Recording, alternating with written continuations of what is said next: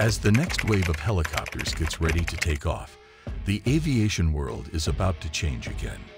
With improvements in power, materials, and design, these future rotorcraft could change how people get around in cities, how search and rescue operations are done, and how the military uses the air.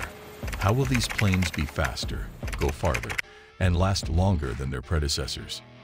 As new ideas push rotorcraft technology forward, what problems do engineers need to solve to ensure safety and comply with rules? In this video, we're going to talk about the next generation airplanes that are coming soon and the exciting things they can do. Let's get started.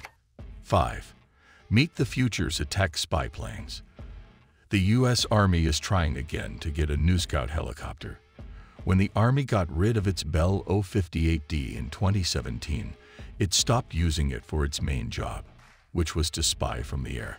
It will be replaced by the new rotorcraft. The Warrior Kiowa here's a big surprise. The new spy plane Future Attack FARA will take the place of half of the Apache fleet, especially the older D version.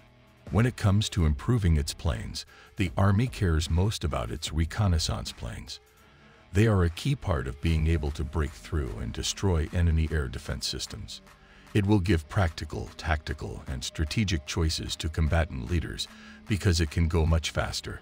Dr. Bruce D. Jette, who is the Assistant Secretary of the Army for Acquisition, Logistics, and Technology, said that in 2018, the Army planned a fly-off between candidates for FARA.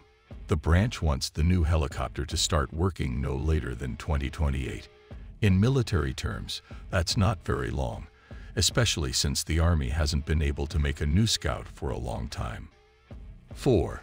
History of the replacement for the O-58 the service tried for more than 20 years, but failed to find a replacement for the O-58. In the 1990s, the Army paid Boeing and Sikorsky to, to make the RAH-66 Comanche, a very expensive stealth helicopter that probably wouldn't have been very silent. In 2004, the Army was finally able to get rid of the RAH-66 Comanche. The service then asked Bell to make the AR-A-70, a spy plane that looked like the O-58D but was bigger and more advanced. Bell and Boeing fought about the program's delays and rising costs. In 2008, the Army got rid of the AR-H-72. Officials in the U.S. Army called the FARA its knife fighter because it could do the most work in a small place. FARA has to use tools that the government gives him, like a specific 20mm gun, a specific missile launcher, and the 1901 improved turbine engine to stay alive against the more advanced air defenses of Russia or China. FARA must also go at least 180 knots and have a rotor width of no more than 40 feet. This will allow it to sneak through the streets of the city and hide behind small things. 3. The first plans for candidates. In April 2019, the Army gave contracts to AVX, L3 Technologies, Bell, GE, and General Electric for candidate designs. Karem, Sikorsky, and Boeing in April 2019. The AVX and L3 Technologies choice designs were shown at a meeting of the Army Aviation Association of the United States. The main compound coaxial rotors on the compound coaxial helicopter are connected to a cockpit that has seats on both sides. Ducted fans at the back of the ship move it both forward and backward.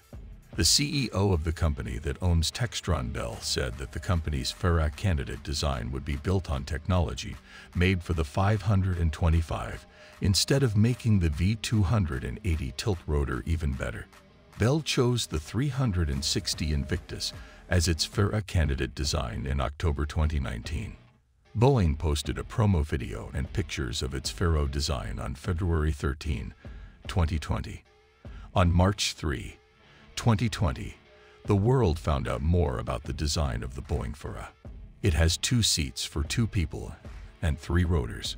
Karem Aircraft said in July 2019 that it was making its FARA trial aircraft with the help of Northrop Grumman and Raytheon. Karem showed off its R-40 design on October 16, 2019. The R-40 is a hybrid helicopter with a rigid main rotor, a swiveling tail rotor pusher engine, and a wing that can move in different directions.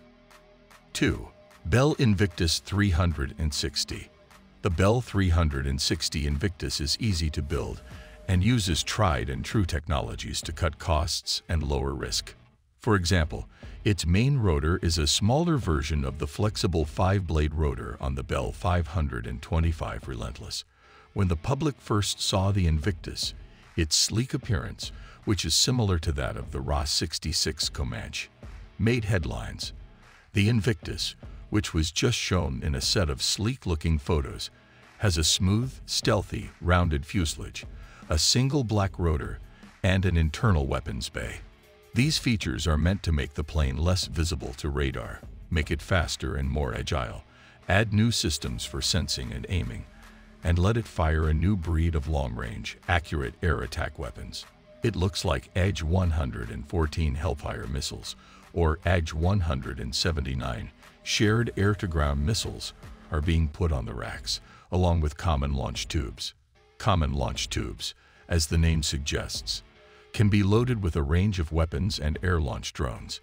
When it comes to the FARA program, the Army wants any helicopter it picks to be able to use air-launched effects, which are different types of unmanned systems that can be sent into the air. Once they are in the air, the apes will be able to work together to do things like electronic attacks, loitering attacks, spying, and more. 1. X-Raider the Raider X is based on the company's S-97 Raider aircraft. 2. Compound coaxial technology, which gives it more speed, range, and cargo space, and lets it be set up in more ways for different tasks. Sikorsky just put out new shots of its Raider X prototype helicopter, which has Hellfire missiles and a 20mm main gun. The pictures that were made public show the body in a West Palm Beach building called FARA Country. The main gun, which has three barrels, and the modular effects launchers can be folded up to make the chopper move more quickly. Paul Lemmo, the president of Sikorsky, said that the Army will get many benefits from the transformational Raider X, including the least schedule risk and the most scientific maturity of the FARA rivals. With X2 technology, Raider X can grow, but it can't do that with a single main rotor. We're looking ahead, and we're committed to helping the Army stop risks and protect freedoms well into the 21st century. The aircraft's electronics and mission systems are made up of a modular, open, plug-and-play system. Jay Macklin, who is in charge of business growth at Sikorsky, said that the FARA mission needs a lot of operational flexibility. And Raider X gives the Army the tactical flexibility it needs. It is fast where it counts, has a big weapons bay that can be used for many different things, and can speed up and slow down in ways that have never been seen before. Raider X is the fastest, deadliest, and most durable plane built for vertical lift dominance against threats that will change in the future. That was the end of the video. We hope you guys enjoyed it. Thank you for watching, and don't forget to subscribe to our channel. Don't forget to share and press the bell icon for regular updates.